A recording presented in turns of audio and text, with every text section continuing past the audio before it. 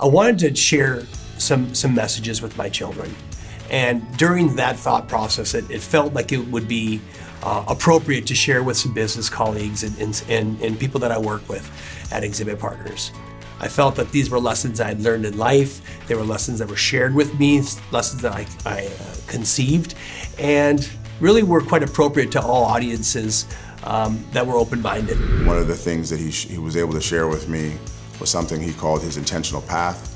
Uh, it's something that's impacted me. It was a beautiful story about where he wants to go in his life, and it's inclusive of everything with work, his family, uh, and all the things he wants to do in the community. I've learned a lot from Matt and how he runs his business and how he builds relationships and how he's a true entrepreneur in every sense of the word. One of the key things that I think builds a great relationship is listening. And that's what Matt does really well. And that's what I really appreciate that about him personally as well as professionally. Uh, I'm trying to figure out how to launch this vlog series.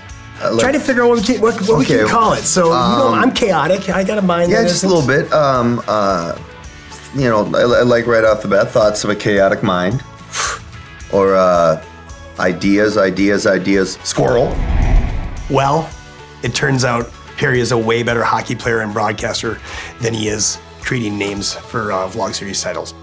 However, I do have a wonderful network and a fantastic broadcasting crew who I relied on to help me determine the best name to share these stories and uh, experiences with everyone. And um, you know, without ado, here it is, The Maze of Life.